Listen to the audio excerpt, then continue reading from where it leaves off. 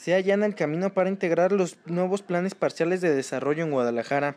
Un juzgado administrativo a nivel federal le dio la razón a los vecinos de la colonia Providencia, por lo que la autoridad municipal tendrá que incluirlos en el proyecto de renovación de dichos planes, entre otras cosas para liberar usos de suelo y otorgar licencias de construcción o de operación de negocios.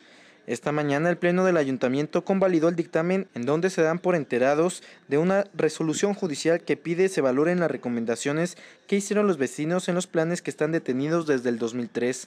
Fue en el año 2000 cuando los integrantes de la Junta de Colonos de Providencia Sur solicitaron a los juzgados federales la instauración de un juicio de amparo debido a que la instancia municipal no quiso incluir sus opiniones en los planes parciales que en ese momento estaban a discusión. Ernesto Salomón, síndico municipal de Guadalajara, lo explica. Bueno, estamos aprobando en el Pleno el cumplimiento de una resolución emitida por el Poder Judicial de la Federación en donde se obliga a que se tome en cuenta la opinión de los vecinos en un proceso de consulta que se originó en el año 2010 y que ahora nosotros tenemos que tomarlo en cuenta para el proceso que tenemos en marcha. El funcionario confirmó que esta resolución no entorpece el actual proceso de consulta pública que se está llevando a cabo por medio de la Comisión Edilicia de Desarrollo Urbano.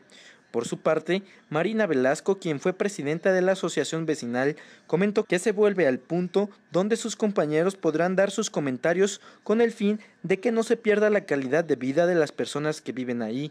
El tope de altura que nosotros estamos pidiendo ahorita eh, estaba entre 4 y 6 niveles, eso es más o menos lo que nosotros estábamos pidiendo y dependiendo también, por ejemplo, en ciertas avenidas un poco más, pero siempre y cuando haya restricciones hacia las casas para que no les afecte.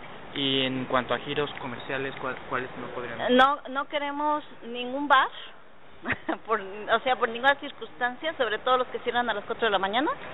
Queremos que se reglamente todos los ballet parking. El ayuntamiento Tapat